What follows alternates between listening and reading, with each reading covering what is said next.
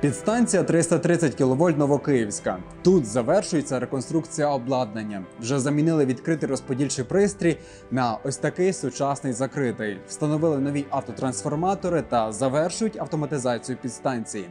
Але це мізерна частина того, що Укренерго вже зробила для покращення надійності нашої енергосистеми.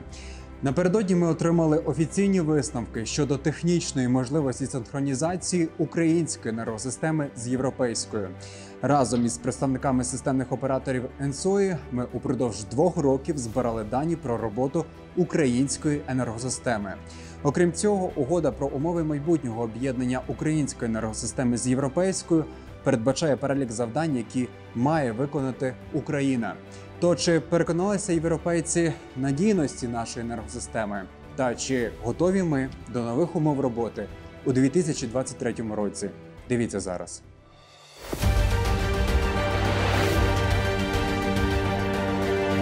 Аби українська енергосистема перейшла на синхронну роботу з європейською, її інфраструктура, обладнання та програмне забезпечення мають відповідати європейським стандартам. Серед основних завдань, які дали нам європейці у 2017 році, це впровадити європейську модель ринку електроенергії, протестувати роботу енергоблоків атомних, тепло та гідроелектростанцій, перевірити українську енергосистему на динамічну та статичну стійкість та пройти спільний ізольований режим роботи української та молдовської енергосистем від Російської Федерації та Республіки Білорусь. Усе це треба для того, аби інсоя переконалася в надійності нашої енергосистеми. Деякі завдання Україна виконувала разом із представниками інсої. Виїжджали спеціалісти як наші, так і е, європейські на наші електростанції, проводили досліди. І по результатам дослідження ми можемо сказати, що українська енергосистема і молдовська приєднана до Європи е, енергосистеми є стійкими. Є невелика проблема з ди- димфуванням низькочастотних коливань. І останній етап роботи це розробка контрзаходів для димфування цих коливань. Він також виконаний. Е, Визначені конкретні заходи, які дозволяють е, забезпечити це димфування і забезпечити надійну і стійку роботу енергосистеми України і Молдови в енергооб'єднанні НСОІ. Що ж означає стійка енергосистема? Зараз я у національному диспетчерському центрі України. Звідси відбувається керування усією нашою енергосистемою. Диспетчери кожну секунду контролюють обсяг цифр та даних, але все ж найважливіша цифра це ось та 50. Вона означає частоту в мережі і вимірюють в герцах. 50 же це стандарт, який говорить про те, що енергосистема збалансована, усім споживачам вистачає електроенергії, а станції, що генерують її, забезпечують повною мірою споживання. Перевірка енергосистеми на динамічну та статичну стійкість одне з найважливіших завдань, передбачених в угоді. Є два етапи перевірки енергосистеми на стійкість. За математичною моделлю, коли зібрані дані про роботу блоків електростанцій вносять у спеціальну програму, і в реальному часі, коли збуджують або обмежують потужність електростанцій в ізольованому режимі від сусідніх країн. Для того, щоб зробити адекватну модель енергосистеми, це математична модель, симулятор енергосистеми, е, на якому можна ну, порулювати, політати, як на, на симуляторі автомобільному або літаковому. Е, Для того, щоб він був адекватний, вводили штучне збурення, на які наші енергоблоки реагували відповідним чином. І ця реакція була потім змодельована таким чином, щоб реакція при тих же збуреннях, які були е, е, фізично на станції при цих тестуваннях, відповідала такій же реакції в математичній моделі в симуляторі. Е, Володимире Дмитровичу, консорціум системних операторів ЕНСОІ вже надав нам фінальний звіт досліджень статичної та динамічної стійкості. Скажіть, то готові ми до синхронізації чи ще поки ні? Звіт для нас дуже оптимістичний, але е, ми плануємо бути повністю технічно готовими до синхронізації в наступному році після проходження двох дуже важливих тестів в ізольованому режимі: один в зимній період, а інший в літній. Після ізольованого режиму е, ми повинні почати переговори з НСУІ про початок так званої е, пробної синхронної роботи. Е, Фактично, це вже означатиме об'єднання мереж фізичне, але без комерційних перетоків, без забезпечення імпорту і експорту. Перша з моменту підписання угоди європейці під час форуму Україна інцою за крок до енергетичної незалежності висловили підтримку Україні та підтвердили факт надійності нашої енергосистеми. Об'єднання України і Молдови з мережею континентальної Європи, яка на сьогодні є найбільшою об'єднаною системою НСОЄ, відкриває великі можливості для обох систем. Ставши єдиною інтегрованою системою, вони будуть підтримувати безпеку енергопостачання одна одної. Крім того, стане можливим двосторонній обмін електроенергією між Україною та континентальною Європою, який буде безпечним і в майбутньому стане більш розвиненим. Члени ІНСОї, особливо оператори системи передачі континентальної Європи, висловлюють ентузіазм щодо приєднання енергосистеми України, а також історично важливого розширення і зміцнення однієї із найбільших синхронних енергосистем у світі. Найближчим часом ОСП континентальної Європи ухвалять остаточне рішення, але підготовчу роботу щодо впровадження обов'язкових контрзаходів для забезпечення стабільності української енергосистеми та проходження тестової роботи в ізольованому режимі вже можна розпочинати. Е, Нам потрібно зробити переналаштування деяких пристроїв на теплових гідро і вірогідно атомних електростанціях, що займе декілька місяців, е, для того, щоб повністю підготувати систему до синхронної роботи з НСОІ. Укренерго вже успішно виконало всі необхідні заходи для безпечного від'єднання української енергосистеми від Російської Федерації та Республіки Білорусь.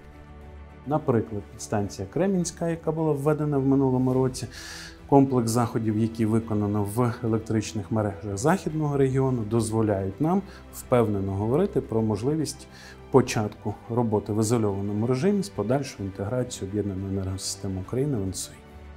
Ну, давайте почнемо, що таке ізольований режим. Ізольований режим е, це робота енергосистеми України і Молдови е, двох саме енергосистем окремо від інших енергооб'єднань.